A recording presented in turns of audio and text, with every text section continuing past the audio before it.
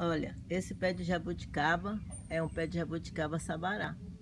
Eu tirei, peguei da semente, plantei no vaso. Do vaso ficou cinco anos mais ou menos. Aí eu trouxe aqui pro sítio. Eu acho que menos de oito anos ele começou a produzir. Hoje tá assim, cheio de jabuticaba. Aí, quem não acha que não que dá semente não dá, olha aí. Demora, mas dá. Olha só como é que tá hoje.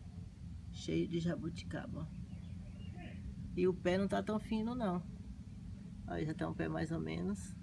E ele dá o ano inteiro. Olha só, quando sai uma carga, já tá vindo outra florada.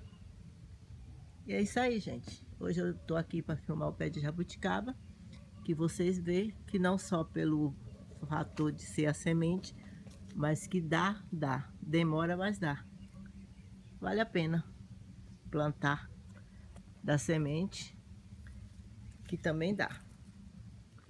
Olha só. Ele deve estar na altura de uns dois metros ou mais. E está produzindo até hoje. Eu amo essa fruta.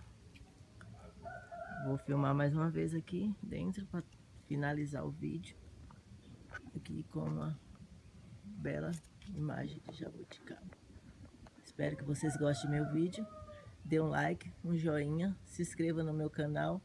E é isso aí. Plantando da semente também dá.